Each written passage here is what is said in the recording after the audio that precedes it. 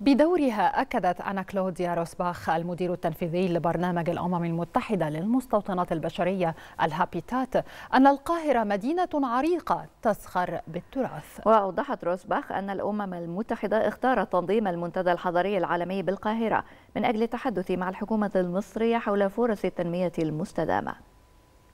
هذا المنتدى يقام في القاهرة.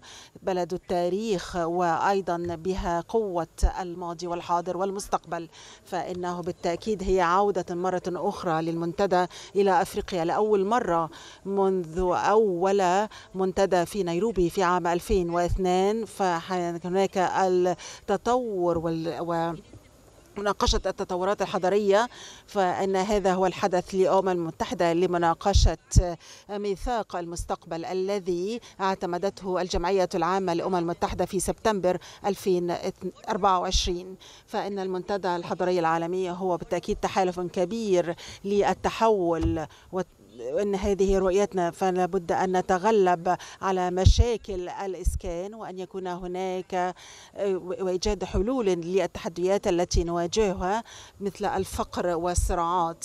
وبالتأكيد يحتاج إلى تعاونا كبيرا بين اصحاب المصلحة المتعددين وبالتالي لابد أن ننخرط جميعا في دفع وتطبيق الخطة التنمية الحضرية المستدامة.